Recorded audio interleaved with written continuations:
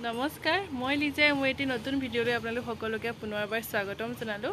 আৰু চাওকচোন আজি ইমানেই ৰ'দ দিছে বাপৰে বাপ চাবই নোৱাৰি একদম। চাওকচোন এতিয়াতো যাব হ'ল ন ৰ'দটো মানে ঠাণ্ডা দিনেই আৰু আহিব হ'ল। তথাপিও ইমানেই ৰ'দ দিয়ে একদম বাহিৰলৈ চাব নোৱাৰি।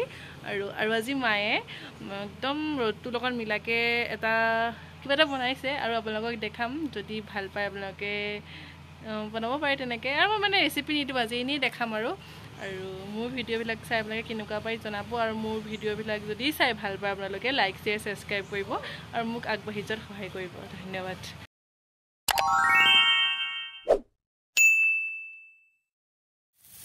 মাছৰ তেলে মাছ ভাজিবলৈ লৈছে মায়ে।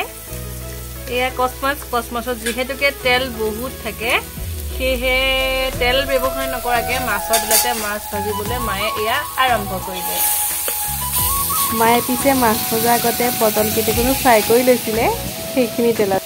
মই যে কৈছিলোঁ মায়ে কিবা এটা বনাব বুলি দালি আৰু টেঙামৰা পাতৰ জোল মাছৰ লগত। দেখিছেনে নাই মোৰ একদম পুতলাকেইটাৰ লগত কি কৰি আছে? গোটেই সোপা পুতলা উলিয়াই আনিছে উলিয়াই আনি পেলাই একদম পূৰা খেলি আছে। দুইটা আহিছে জীয়া আৰু গোসাঁই দুইটা একদম পূৰা খেলি আছে। ৰাতিপুৱাই আয়েকৰ লগত আহিছে আহি পেলাই একদম মৰম দুইটা একদম যি চোৱা খাই। সঁচা ন ইহঁতৰ মৰমবোৰ সঁচাই বহুত মানে এতিয়া আৰু বুজাব নোৱাৰি। অকণো বুজি নাপায় কি কৰে নিস্বাৰ্থভাৱে কৰে। সেইকাৰণে বহুত ভাল লাগে মই সেইকাৰণে বহুত ভাল পাওঁ সৰু পোৱালি। আৰু মোকো বহুত ভাল পায় ইহঁতে। সেই লিজা মাহী লিজা মাহীকৈ থাকে ভাল লাগে। আৰু চাবতে এতিয়া হাঁহিব। হাঁহিছে দেখিছে তাই জীয়াই।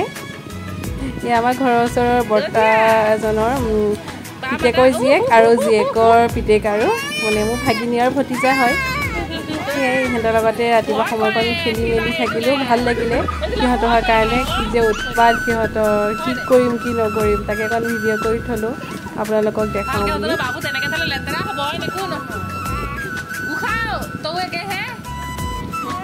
আৰু ভাত হৈ গ'ল।